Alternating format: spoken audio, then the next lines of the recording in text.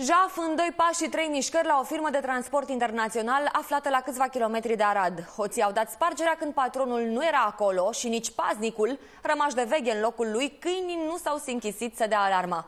Ai zice că tâlhare au avut noroc cu carul din moment ce nici senzorii de alarmă n-au funcționat.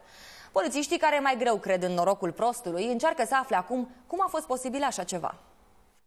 Nici avertismentul de la poartă, nici cei trei câini lupi din curte nu au reușit să-i țină la distanță pe hoți. Nu între aud la trân, se aude că câini mari și nu se aude nimic, nimic, chiar nimic.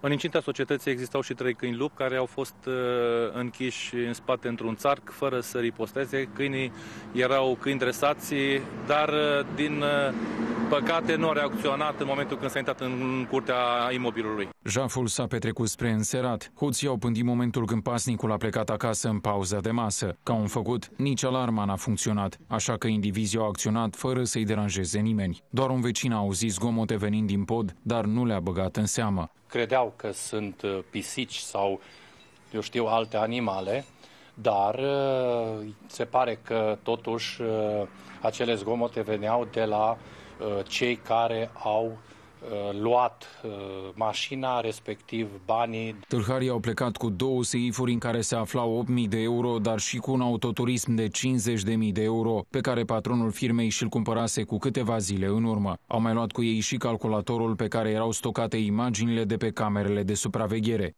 Ai, dar mi-e frică credeți-vă, vine și te omoară pentru pensia aia care am. Anchetatorii cred că hoții au acționat la pont. Aveau, se pare, chei potrivite și cunoșteau bine locul. Angajații firmei de transport au fost deja audiați, iar polițiștii așteaptă să stea de vorbă și cu patronul plecat în străinătate. Durerea